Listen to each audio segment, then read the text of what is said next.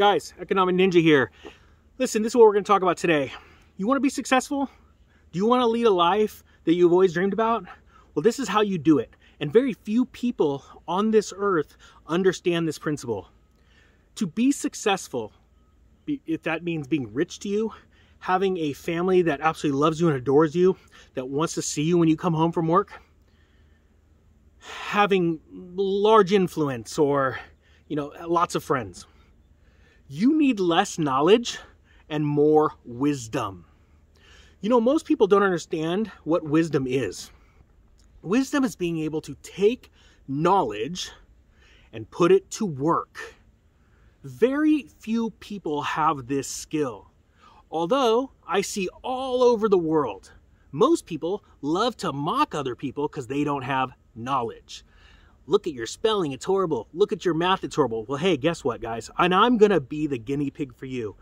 There ain't nobody watching this video that's probably worse at math and spelling than this guy. That's right, the ninja. And usually, it's just a bunch of tools that like to bring that up, that hide behind some stupid emoji, won't put their face on it because they have no guts either. Courage is a whole different video. I'm telling you this not because those people bug me. I love it when people make fun of me. Because even if I am 100% correct and I could prove it, I like to let the fool be the fool. Let the fool get his gratification here making fun of someone and let him get his reward, which is way down here later. Don't look too deep into that. That's I know what that sounds like, but it's not what I meant. Sounds funny. My father taught me this a long time ago. When we're talking, let's talk financial stuff. He goes, You want to get to the point where it doesn't matter what people think of you, it doesn't bug you. That you could walk into a party and no matter what they say to you, they put you down because if you're one of those kind of people that want to help people and teach people things, most people don't want to be taught because then for some reason like that makes them feel lower or lower than you. I, I just don't get it. You want to get to the point where you can walk in and no matter what, you know, sounds hard, but let's put it this way. This is the easiest way to say it. He also said this. You want to walk into any car dealership and go, if I wanted to, I could go buy that cash. That's what you want to be at. It gave you, and he says it'll give you a sense of empowerment, but confidence, right? And then, and then also you're learning how to be meek too. But see that wisdom thing, you don't have to be the smartest person in the room to get the most accomplished in life.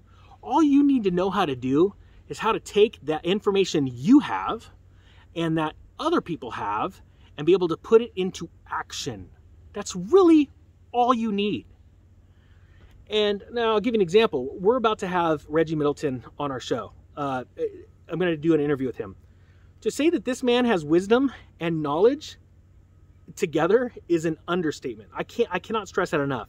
See, the people I look up to in this world are people that are constantly trying. People that don't give up. Most people like to mock people that fail. I have lots of it in my life. I also have lots of successes, but like I learned from Robert Kiyosaki personally, a successful man will truly share his failures before his success. And trust me, he wasn't using the word a successful man as in someone with a lot of money. That's a truly genuine, successful human being, well rounded. I know that someone out there right now needs to hear this because I guarantee you every single one of my subscribers has an amazing quality that just needs to come out somehow. And if that is from something like this, that is awesome. That's why this channel exists. I must be getting fired up because my glasses are fogging up. So I hope you guys got something for this. You did smash the like button, do all that stuff. It's great. But really, beyond that, do something today with your greatest talent. And everybody knows what your talent is. And just start using it. Don't listen to the naysayers. Don't listen to the idiots that are on any of these chat forums that hide behind an emoji. They have zero courage. They probably suck their thumb at night. They probably have a safe space.